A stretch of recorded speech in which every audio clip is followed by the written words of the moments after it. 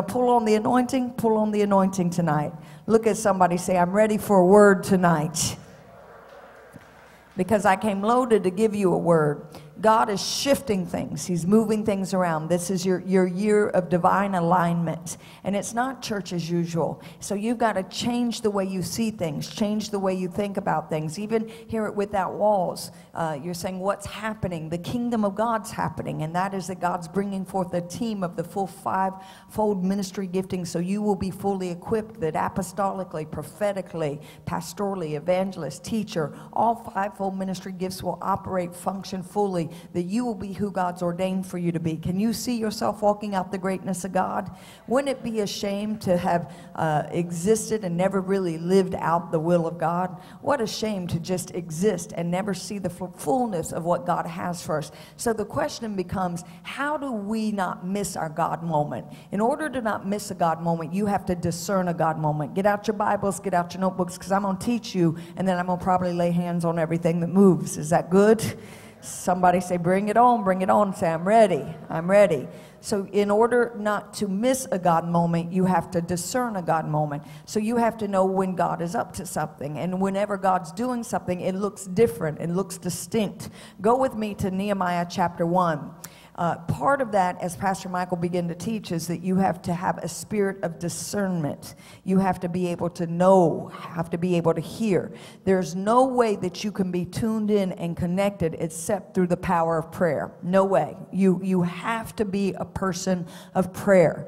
Uh, this end time move of God will come through prophetic intercession and through people who know how to download heaven and see it manifest in the earth. Thy will be done, where, guys? In the earth, as it is where? In heaven. So, thy will be done. Come into compliance. How many of you want the determination, decree, and declaration of God that there's a forced compliance in your life? So, in order for that to happen, thy will be done in the earth, a forced compliance, then we have to know what it is to superimpose heaven into this earthly realm. How do we see God's will come to pass? Is it God's will for you to be healed? Yes. Is it God's will for you to prosper? And that's not just finances. Is it God's will for your family members to be saved? Is it God's will to see this community shaken for the Lord Jesus Christ?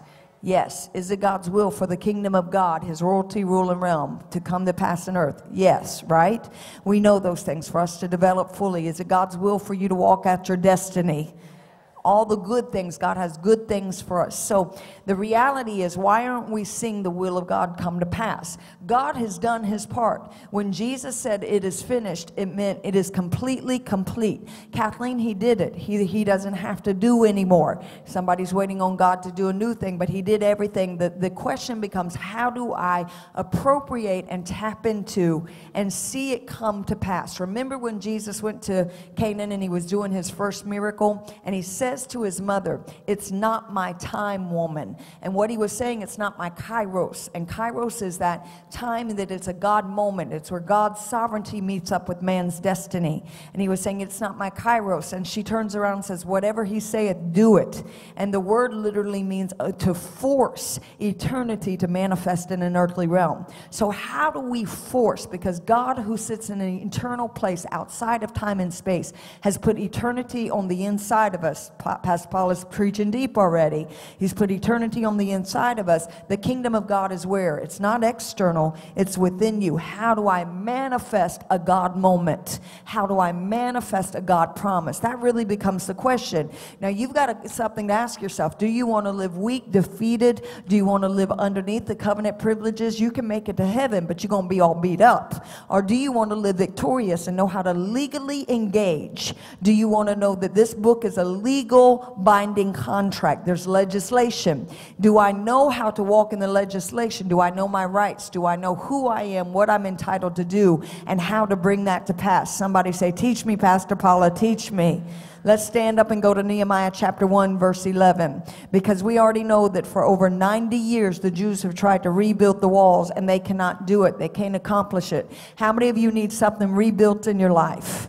Restored in your life. Anybody need restoration back again? And back again's not just simply coming back before the event, it's back to the original authenticity of your core. How many of you need to come in divine alignment with who God created you to be? It means when you walk down the streets, people should be getting healed. When you walk down the streets, you should be walking with such the mind of Christ and in such gifting of keen discernment and spiritual accuracy that you have words of wisdom, words of knowledge. That's not just reserved for Pastor Michael, Pastor Paula. That's for every believer. You should have joy, love, peace, goodness, meekness, temperance. Come on, you should have the indwelling of the Holy Spirit operating and functioning in you. That God in you, working through you, should be making a difference and manifesting itself everywhere. When you wake up, an alarm should go off in hell that says, Oh no, they're up again.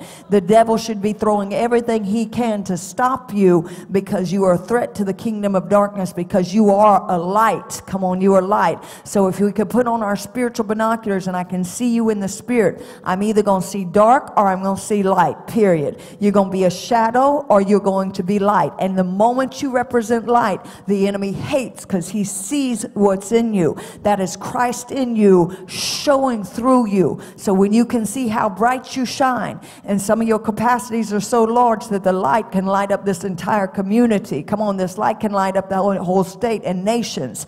You are light for the Lord Jesus Christ. So when you get up, that means the demonic spirits tremble at the fact that you're walking in the will of God. The devil is a liar.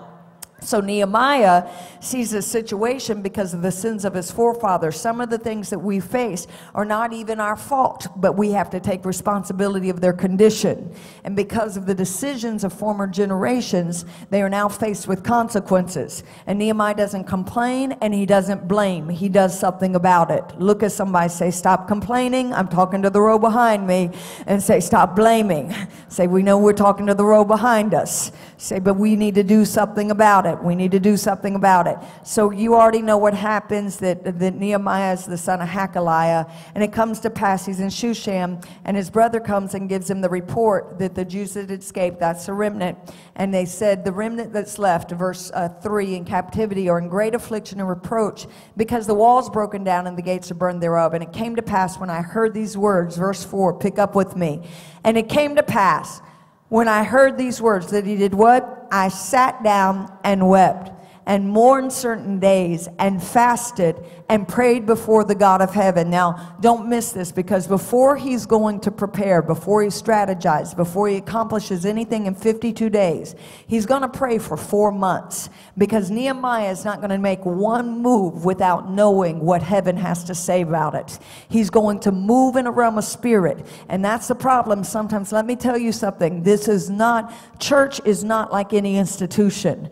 This is not another corporation. This is not a, this is not a business. This is the church. It belongs to the Lord Jesus Christ. It's not been purchased with silver and gold. It's been purchased by the blood of Jesus. This is not like any other place. This is his church. Somebody say amen. And so you can't engage with natural tactics. You've got to engage with spiritual things. You can use your mind, you can be smart, but at the end of the day, the only way to secure victories is you've got to be, you are a spiritual person. And I'm not going to let you sit back and, and draw conclusions and try to operate with natural means. I'm going to, I'm going to stir some things up in you right now because there needs to be an aggressiveness in your spirit that recognizes that the difference between life and death and the victories victories that you win in your life and in the lives of those around you and in this community is not fought in the natural. For our weapons of warfare are not carnal, but they're mighty to the pulling down of strongholds. You're dealing with a real devil who really does hate you and wants to kill, steal, and destroy. You are either gather or you are scatter. Come on, you are light or you're darkness. You're being used by God or you're being used by the enemy. You're either on God's agenda or you're on the devil's agenda. There's really really not any gray ground in this thing. You are for God, we taught it before, or you are against God. And good people can be influenced by bad spirits. We perish because of lack of knowledge. Look at somebody say, You're not going to stay stupid the rest of your life. Say, She's talking to that row behind you again. Amen. So he prays. Somebody say, He prays. And he fasts. Now, watch what he says. And he said, I beseech thee. Can I get your attention? He says, Hey! That's what beseeches. And I teach because whenever, Lincoln, you see that word, it's not just, hey, listen up. It means pay attention, pay attention. So I want to emphasize what God, he says, O Lord God of heaven, thy great and terrible God. And the word literally means reverence to fear. That keepeth covenant and mercy for them that love him and observe his commandments. Who does he keep covenant with, guys? Who's he keep covenant with? People who love him and people who observe his commandments. So, so we think that we're just entitled to all the blessing and benefit of God. No, God keeps covenant with people who love him and people who obey his commandments. So I'm, I'm teaching you better than you're saying amen already. Verse 6 Let thine ear now be attentive and thy eyes open, that thou mayest hear the prayer of thy servant, which I pray thee before thee now day and night. So he doesn't cease praying. Uh, part of the problem is we think when we get an answer or a little breakthrough, we can stop doing what we did.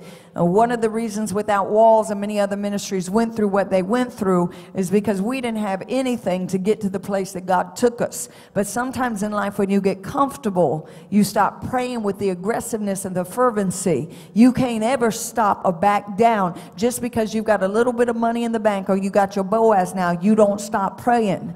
Just because you got healed, you don't stop praying. The righteous um, the prayer of the righteous availeth much. And it literally means the active, operative prayer has much strength, force, and ability. Your prayer has to be active and it has to be operative for it to have force and ability and power. We can't play church, we have to be the church. And so we have to use what God has given us. And Wesley says, it seems like God's limited. He's not. But he wasn't, won't do anything unless somebody asks for it. We bring God's will to pass through the power of prayer. So he says, Hear your, my servant, which I pray thee, day and night for the children of Israel, thy servants, and confess the sins of the children of Israel. He said, I'm not just praying, I'm not just interceding, but I'm repenting on every, but most of us talk about everybody instead of repent for everybody.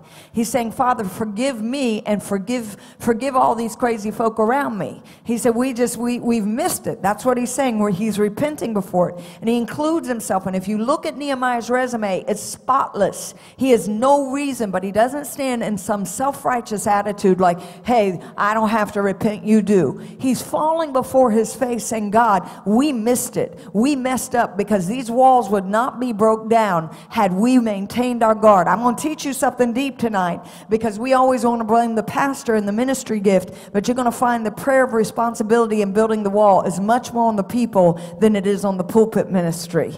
This is about vision. There's some things that leadership has certain immunity to according to the word of God. Don't make me start preaching this early. Why do you think that Miriam got leprosy but Aaron didn't and they both did the same thing? Because he had on a priestly garment, so he had immunity because of an office. And the people have a responsibility that I'm going to show you through the word of God to bring to pass the will of God. It's not just up to Pastor Paula, it's not just up to Pastor Michael. It's up to us as a people to bring it forth. If we're not seeing God move, it's not because uh, of something simply not happening in this pulpit. All of us have a responsibility to enter into his gates with thanksgiving, into his courts with praise. Come on. We have a responsibility to bring our tithe in here. We have a responsibility not to forsake the assembling of ourselves together.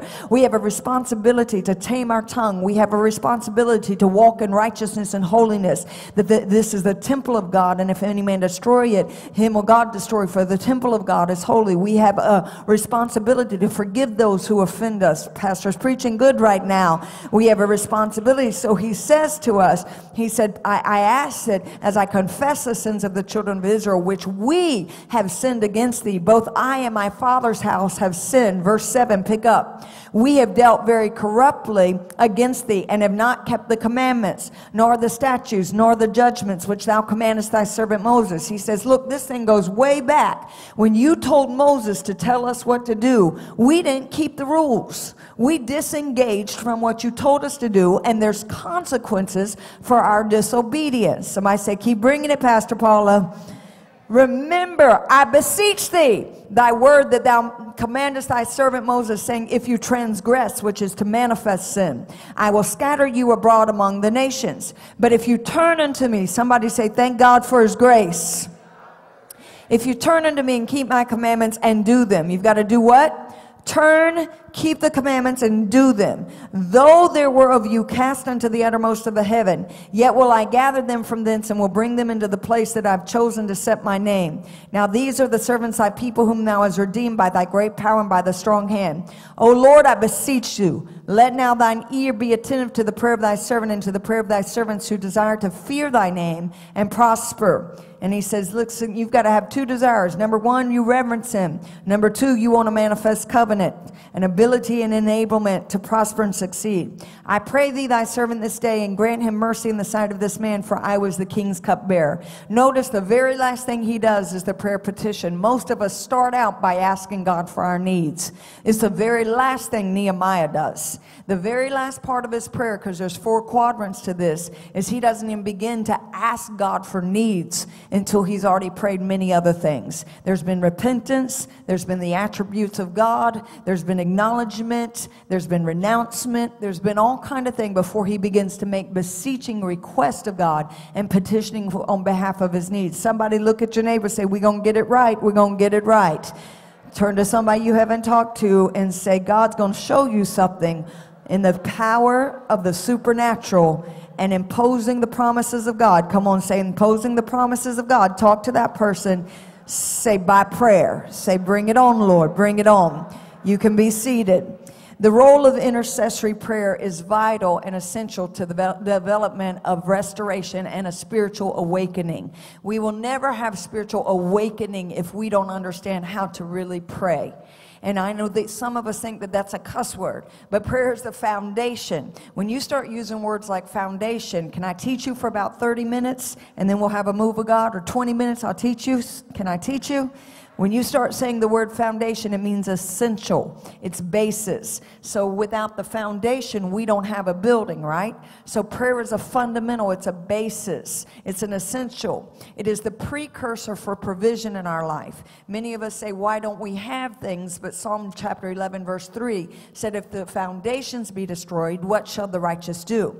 So if our prayer life gets destroyed, then it says the righteous are in trouble. And so the enemy wants your prayer life life. The enemy wants you to shut your mouth and not be able to intercede or have intimacy or see the will of God to come to pass in your life. Without prayer, there will not be power in your life and provision in your life. I often say that publicly you are only as strong as you are privately. And so you can fake it for a little bit of time, but sooner or later that facade's going to show because the true strength, come on, when you get under pressure, what's in you is going to really come out of you.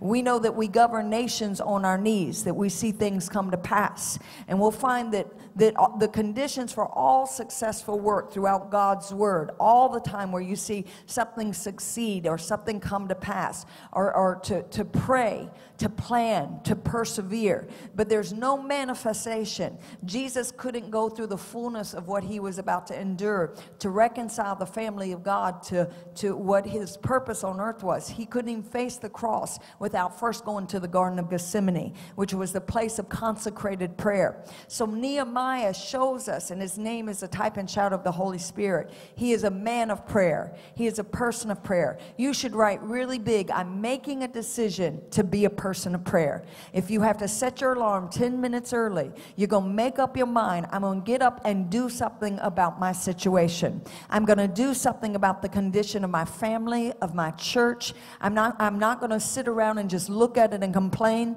but I'm going to get in the presence of God and begin to pray about it. I have a responsibility. Nehemiah opens in chapter 1 with prayer, but he doesn't just start there with prayer, he continues with prayer. And that's what's so important because, Corinne, we start things and we see the birthing, the effectiveness with prayer, but we forget to carry them all the way to the end with prayer. So it's in Nehemiah chapter 2 and Nehemiah chapter 4 and Nehemiah chapter 5 and Nehemiah chapter 6 and Nehemiah chapter 14 or, or 13. You see it all the way through to the very end. He starts with prayer and he concludes with prayer. And he says in verse 4 We made our prayer and we set our watch. He prayed like it was all up to God, but he worked like it was all up to him. So you've got to have a tenacity, like you're going to pray that it's all up to God. Prayer changes everything. Look at somebody, say, You need something changed? Tell them, say, You need something changed? Say, prayer changes everything. I could shut the Bible and go home right there because prayer changes everything. It might sound old fashioned, but we've gotten away from falling on our face. We've gotten so high tech that we've forgotten what it is to get into the Holy of Holies and into the bedchamber and into the intimate place with the Spirit of God to see the will of God come to pass. Second Chronicles chapter 7, verse 14, we know it well. If my people, how many of us are his people? Come on, if my people, which are called by my name. Anybody in the house know they're called by God's name. Shall do what? Humble themselves. And do what after you humble yourself? And pray. So the first thing for prayer is you've got to lower yourself, which is what humility is. You can't just stand in this kind of position. You've got to get down low. There's some low places that you have to go in order to see change come to pass in your life. If my people will humble themselves and not stand up in their own arrogance about what about them and what's their right, but but if they'll humble themselves and pray and seek, and the word seek has a, has a lot to do because it, it, it literally means to search out with diligence. It's like you're looking for something. It's like if there was a little quarter diamond somewhere on the stage and I looked through everything to find it and I dug up and I tore up everything. You've got to search out God diligently. We think that, that God's just going to fall on us. God's looking for somebody to pursue Him, to search Him out diligently diligently, if they'll seek my face and turn from their wicked ways. So it's not just searching him out diligently, but it means I've got to do something. I've got to make a decision that anything in my life that is displeasing to you, God, anything in my life that is separating me, anything in my life that, that, that is causing me to live in an outer realm, I'm going to make a decision to push the delete button. I'm going to repent, which means I change my mind and I change my ways. I change my direction.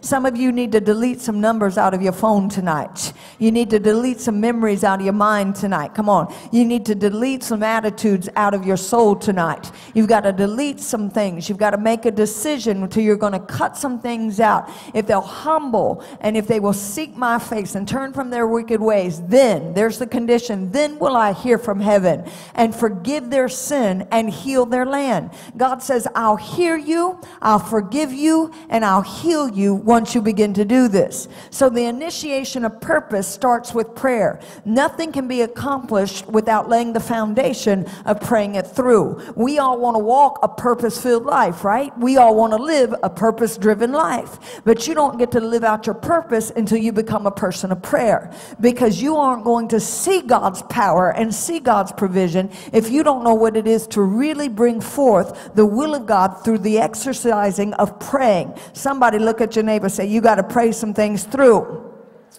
There are four components to this. Can I go through them real quick? Number one, the first thing is the affirmations or the attributes of God. Number two is supplication and confession in verse 6 and 7. Number three is intercession in light of God's word. That's the promises, verse 8 through 11. And number four is petition for a favorable response from the king. That's verse 11. So God gives us a pattern for prayer. Details do make a difference, details matter. Remember when the, the, the disciples came to Jesus and they didn't ask him, teach us how to preach. They didn't ask him, teach us how to hermeneutically, homiletically dissect and exegesis a text so that we can have crowds like you. They didn't say, teach us how. They said, teach us. They saw the power on his life. They saw the revelation. They saw the illumination. And the disciples came to him and they, of all things they could have asked him to teach and impart, they said, teach us how to pray. Because they knew that he was a man of power. They knew that he was a man of God's presence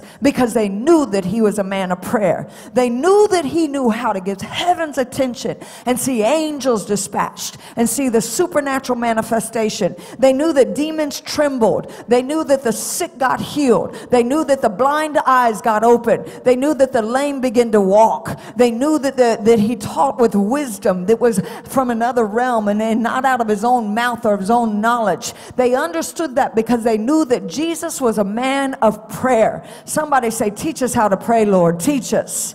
So a pattern is an order, it's an arrangement of things. It's a model or design for which copies can be made. And we know that when Jesus gives them the pattern of prayer, Nehemiah is the foreshadow or the type and shadow of what Jesus is going to lay out as well. He, he was, as we implement the, the pattern of how Jesus taught to pray, Nehemiah's prayer, we start the process of restoration and rebuilding and seeing things come to pass because prayer has power to change things. I already said, Wesley said, it seems like God's limited. He does nothing unless somebody asks for it. So while we know God can act intelligently through sovereignty, it's as if He can do whatever He wants, whenever He wants, with whoever He wants. But we are reminded in James chapter 5, verse 16. So you understand what I just said. God can act intelligently through His sovereignty, meaning He's God. He can do whatever He wants, whenever. Come on and help me out. Are you with me?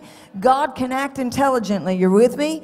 God can because he's God. He could do anything. Can I can I help you with something? He could do anything. He's God. He can create, he can do anything. But God cannot violate his own legal th- uh, entities. So what I'm saying to you right there, even though intelligently we understand and comprehend that he's sovereign and he can do anything, he set up certain legislation. Because he set up legislation, God cannot violate his own word. That's why he needed the womb of a woman to enter into, into the world. That's why we call him incarnate. He had to come through flesh. Because when spirits move, spirits don't just show up. They have to use things. They have to use humans. They can use elements. They can use animals. So spirits don't just show up. They have to use things. God doesn't violate his word. So though he is God and is sovereign and intelligently we know he can do whatever he wants, whenever he wants, however he wants, he doesn't violate. And James chapter 5, verse 16 says, The effectual, fervent, which means active, operative prayer of the righteous man availeth, has force, power, and strength much. So, in other words, if we want to see the force, the power, and the ability of God in our life, then we have to have an active, operative prayer. Although God can do, and God can, can do whatever He wants, whenever He wants, with whoever He wants, He doesn't do unless somebody has an active operative prayer life that releases the strength, the ability, and the force. If you want to see your church become forceful, if you want to see your life become forceful, if you want to see your finances and your family become forceful, come on. If you want to see your, your, your purpose and your ministry become forceful, and if you want strength, then you've got to open your mouth, fall on your face, humble yourself, turn from your wicked ways, and begin to pray. We cannot see God's will come to pass without the power of prayer. Somebody say, Teach us, Pastor Paula, teach us. God desires and uses prayer as his vehicle to bring his will to pass. And, and, and, so, in the case of Nehemiah, it was for restoration and rebuilding. Prayer, we know, is personal communication with God. It is the intercourse of the soul. It's not contemplation or just meditation, but it's an direct address to God. It's intimacy of the soul. It is the beseeching of the Lord. Exodus chapter 32, verse 11. It's the pouring out of the soul to the Lord. 1 Samuel chapter 1, verse 15. It's praying and crying to heaven. 2 Chronicles chapter 32. It's seeking God and making supplication. Job chapter 8, verse 5. It's drawing nearer to God according to Psalm chapter 73, verse 28. So God wants to talk with you. He wants intimate partnership. He wants intimate relationship. This is not about what we want. God has set this up to get what he wants. Make me a sanctuary, a sacred holy place that I can dwell. I can have habitation. God doesn't just want you to come in and get your Sunday fix. God wants intimacy with you. He wants you living in a clear channel. He wants to be closer to you than any other person. No man owns you, God owns you. Everybody else that gets to share in the privilege of partaking in any aspect of your life, it is just that a privilege. Your spouse doesn't own you, your children don't own you, your boss doesn't own you, your pastor doesn't own you. You're owned by God. You were created by God. Your own lease here to earth, and anybody else that gets to partake in the privilege of your life, it is just that. It's not it's a privilege, not an entitlement. You owe no man nothing but love. Everybody should celebrate the gifting that they they are privileged to the fact that they get to partake in the presence of who you are because you are a gift to this world. And when you recognize that, you shift your mentality. You don't go where you're just tolerated. You go where you're celebrated. You don't hang out with fools that don't have discernment to recognize I've got 70 short years. If you can't understand what is on the inside of this, this package and this vehicle of expression and appreciate the gifting of God, which is the core of the authenticity of my being, then, then I'm sorry. I can't hang with you. I'll minister to you all day long. But this is valuable and, and, and to a greater degree, beside the own DNA of God establishing the handiwork and fabrication of who I am as far as persona. His spirit is on the inside of me. That's why the same spirit that raised Christ from the dead now dwells and lives within me. That, that spirit that has life, that spirit that has power, that spirit that has the ability to break every bondage of darkness, that spirit that the devil hates because he's intimidated. Listen, you better hear me because the enemy is nothing but a great deceiver. He deceives you. He works through the spirit of deception. Revelation chapter 12 verse 9. This serve it says this great dragon which was the serpent of old who deceives many nations. He works through intimidation, manipulation and domination. Anything that intimidates, manipulates or dominates your life is not of God. God is a liberating God. God's a freeing God. So anything that comes to bring you into deception, intimidates you, manipulates you, and dominates you, it's called a spirit of Jezebel. But you're not a weak Christian because you sit under a fivefold ministry that you get well taught the Word of God. Because if you want a spiritual awakening and not to play church, you have enough discernment to understand this is of God. That might look like God, but it, it's not because I don't see in the natural, I see in the spirit. So I'm not looking, I could care less what clothes you wear, what car you drive, who you date,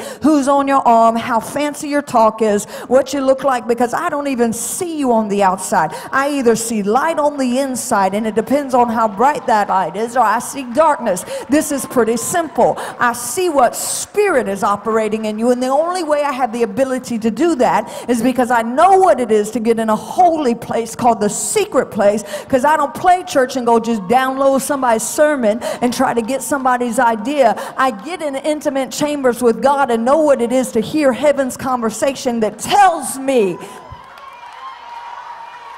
shows me. Come on, you better look at somebody. That's that's how you know who you are. Say, tell somebody, say, you got to start praying, baby. You got to start praying. I'm gonna go there anyway. So God wants intimacy. The moment you start praying, angels get activated. The moment you start praying, God goes to work. The moment you start praying, heaven's holding conversation and downloading it to your spirit. The moment you start praying, the invisible becomes visible. The moment you start praying, you start breaking things in the spirit. You start loosing things. You start binding things. You start breaking things. You start bringing and birthing things. None of it comes to pass without prayer. We're saying awaken us. We don't get awakened because we have talent and gifting that stands here. Look, they're going to pack out the forum for all the concerts with more people than we could pack out with every church in this city. Come on and help me out. And, and they are not anointed, they're just talented. Talented talent does not bring you into the presence of God. You better hear what I'm saying. Anointing brings you into that. So let's just close shop and go have fun. I'm not interested in it. I'm interested in God's presence. I'm interested in God's power. I'm interested in God's provision. Somebody say, You got to pray. You've got to pray because the only thing that brings that strength, that force, that ability is the active, operative prayer of somebody that is in relationship with God. If it's going to be, it's up to you. It's not just up to Pastor Michael. It's not just up to me. You want your family free? Start praying. You want to be free? Start praying. You want to get rid of the Boaz and get your Boaz? Start praying. Come on. You want to get, you better, I mean, your Bobo. Come on, Bozo whatever it is that you're with right now, you need him out of your life. Come on, and need your Boaz. Start praying. Pastor Paul is teaching good anyway. So, attributes. Nehemiah starts affirming things because prayer presupposes the belief in the personality of God. You can't have a, prayer prayer, a true, pure prayer language without understanding who God is. And prayer presupposes the belief in the personality of God. It's the ability and the willingness to hold intimacy with us, His personal control of all things and all His creation. Nehemiah declares, O Lord God of heaven.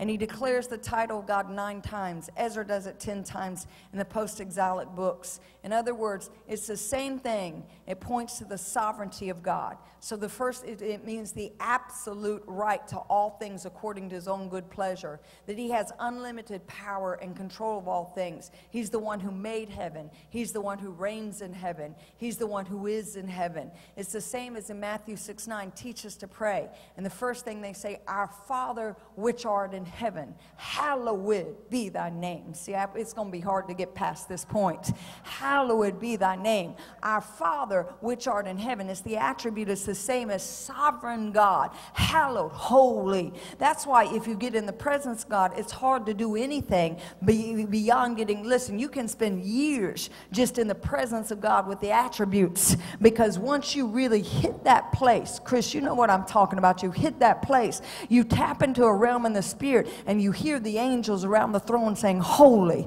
holy, holy, Lord God Almighty, holy, holy. And all they've done all throughout eternity, holy, holy. And why would these angels do nothing but holy, holy? Because every time they circle the throne of God, they see a dimension of God they've never seen before. And all they can say is, Holy, holy, holy, Lord God Almighty, holy, holy, holy, Lord God Almighty. Who is and who is to come. And they just begin to talk the attributes of God. And he goes on to say that great and terrible God. And terrible doesn't mean like bad, it means reverence is the Hebraic word. And reverence is a respect that is felt and seen. So he's saying, Sovereign God, who I respect. And respect is not just something that you say. You know, respect, give me some R E S P C T, is something that is felt and seen. You know that you don't have respect because he treats you like a dog. She treats you like a, like a, no, please don't make me get into the stuff. Okay? Respect is something that is felt. Respect is something that is seen. Respect is not what you say to me. Respect is an action, it's verb. It's what you do. Don't say you love God and then you talk about your brother. It says the love of God is not in you. You're a liar. Don't say you love God and don't bring his tithe to the storehouse. It says you're a robber. Don't say you love God and not, not do the things that God tells us and commands us. So it continues that keepeth covenant and mercy for them that love him and observe his commandments. He's referring back to Deuteronomy chapter 7, verse 9. And he says, Know therefore that the Lord your God is God. He's a faithful God, keeping his covenant of love to a thousand generations of those who love him and keep his commands. So the affirmation of attributes is an honor and respect for who God is. And although we approach God confidently, we don't do so casually. Hebrews chapter 12 12, verse 28 and 29. Therefore, since we are receiving a kingdom that cannot be shaken, what are we receiving, guys? A kingdom that can what? Not be shaken. Let us be thankful and so worship god acceptably with reverence and all it's what chris was talking about. I don't get it. I don't get how we can come in and just be so casual about the things of god and be so careless about it when we've received a kingdom that cannot be shaken. I've been grafted into a new family. I've been made a new creation. I deserved hell but i received heaven heaven. I deserve to live in a trailer on Bill Moxley Road the rest of my life, but God allowed me to preach the gospel to the world. I deserve to lose my mind and should have. I deserve to be buried six feet under and should have, but God preserved me, protected me, and gave me the mind of Christ. God changed the way I saw things. I deserve to be abusive and hurtful to myself because the way I was born and formed by my childhood and the things that molded me, but God changed changed me into a new creation that I understood that I was fearfully and wonderfully created. I deserved to be rejected, but I was made accepted. I deserved punishment, but I received freedom. And he says, You should be thankful because what you got cannot be taken from you. The kingdom, which is the royalty realm and rule of God, cannot be taken. It won't be shaken. It is forever to those who recognize that they are sons and daughters of the Most High God, that you're in this world, but you're not of this world. And the kingdom can't be taken. You can take a lot from me. You can talk about me. You can lie on me. You can try to stone me, kill me, but you can't take the kingdom which God has established to give me, and it includes every promise of position, possession. So, so no matter whether you believe in me, whether you think I'm qualified by my resume, whether you think I should wear leggings or not wear leggings, whether you like my boots or don't, whether you think I should preach or not because I'm female, whether you're mad at me or you're not mad at me, it really doesn't matter because the kingdom cannot be shaken, which I received not by you. Thank God that no man gave me what can't be shaken, but I received it by my elder brother, Jesus Christ, who willed it to me because of a heavenly Father that loves me with a love that is unconditional and accepts me, and because it cannot be shaken. You better be glad that a, a lot can be shaken in your life, but the kingdom cannot be shaken. You better be thanking God right now. So, therefore, whenever I recognize that what God gave me can never be taken from me, you can take things away from me, but what God gave me, that's why if something's really of God, it's not going to leave me. Because what's part of your destiny, you can't lose it. What's not, come on, you can't keep it. So, what God really, and I didn't manipulate my way into, somebody better help me. You better thank God for some of the things that loosed your life. Because some of the things didn't belong in your life. And God's sending in the authentic of what should be in your life. The kingdom cannot be shaken. You can't take my call. You can't take my core. You can't take my peace. You can't take my joy. You can't take my love. You can't take my goodness. You can't take the Holy Spirit. You can't take my salvation. You can't take my justification.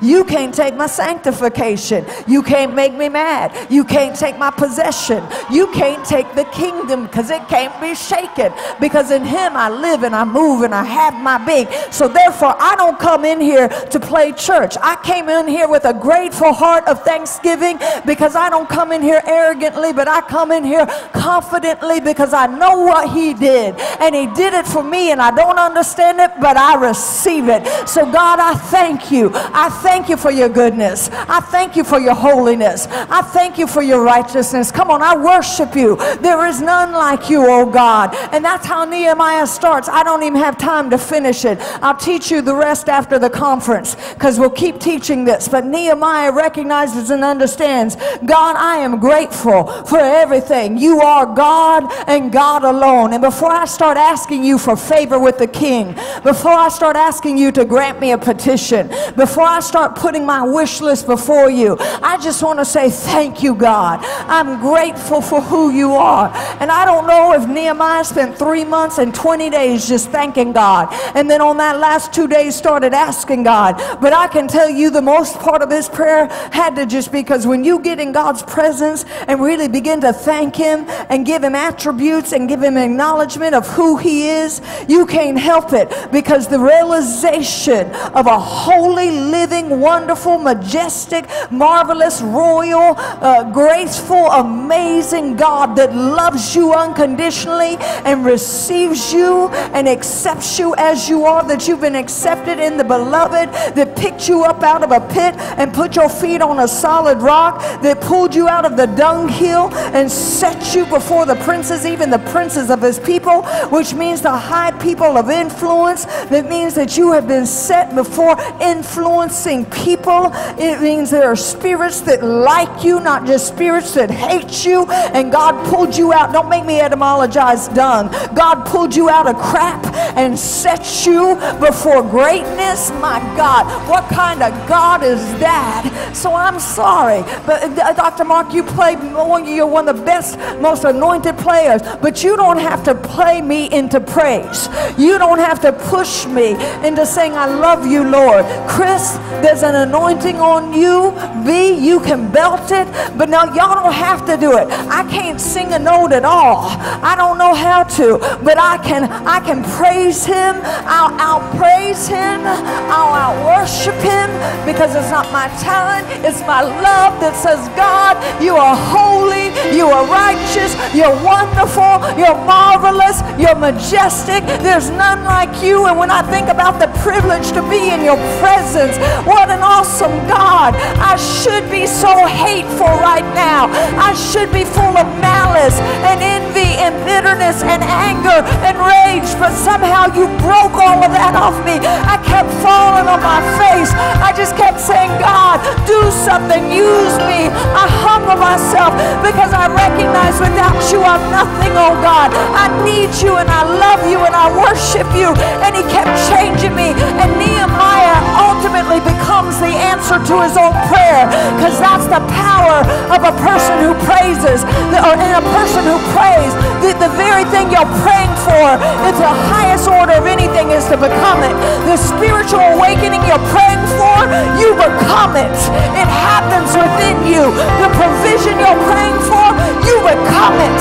And you recognize the kingdom of God is within me and cannot be taken from me. You better help me out in the name of Jesus. Hey! Come on and start praying. Come on,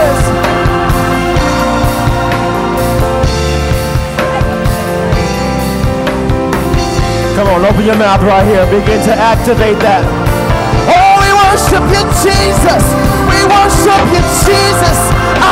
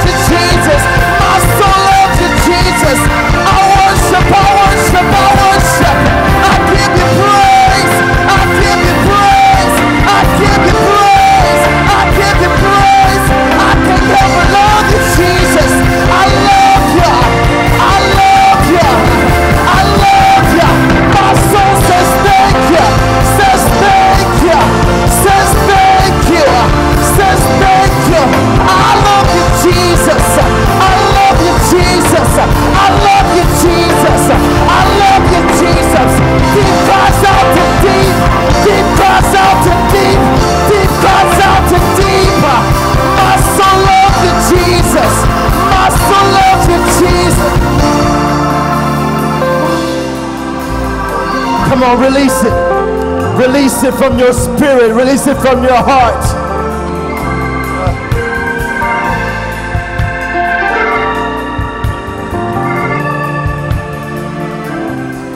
And oh, my soul cries out.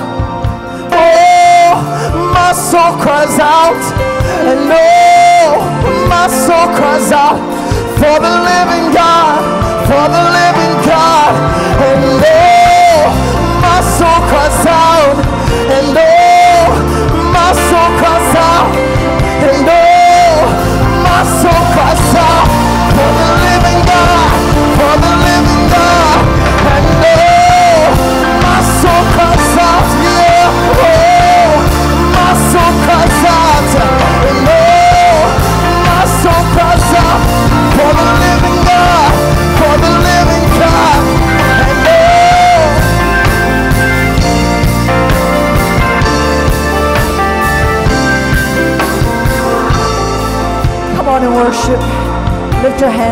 start praying in the Spirit. Just start praying in the Spirit.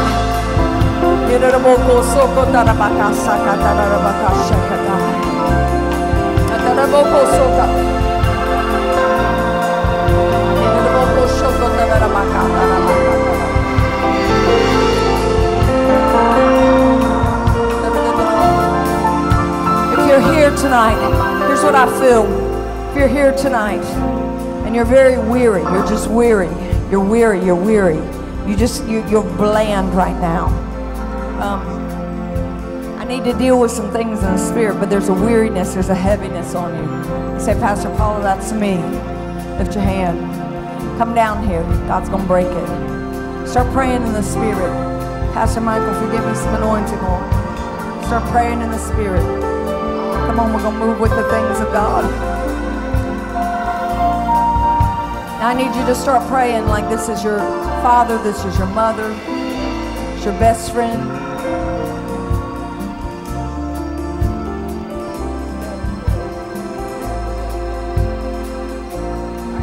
Okay, now watch. Keep praying in the Spirit, but I want you to hear something. Psalm chapter 2, verse 1 says, Why do the heathen rage and the people imagine a vain thing?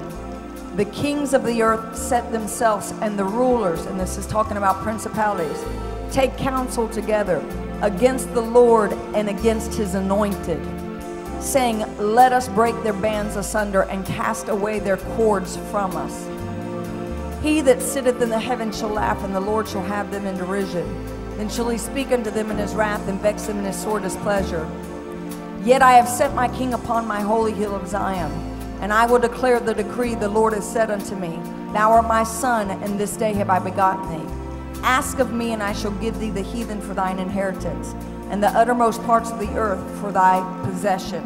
Thou shalt break them with the rod of iron, and thou shalt dash them in pieces with the potter's vessel.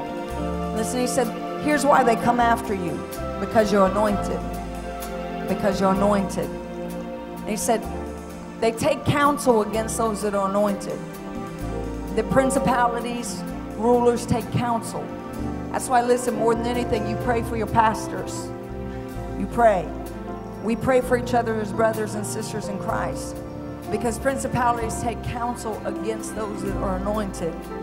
He said, Why do the heat and the rage and the people imagine vain things? He said, There's counsel against them. But he said, Here's what's going to happen. He said, You're going to give them to us for our inheritance, and we're going to shatter them as with iron. Whatever it is, because every demonic spirit has a personality that has come against you to wear you down and to tire you, that you're just fatigued, that you, you've lost your joy, which is your strength, that you can't go to that place and press in.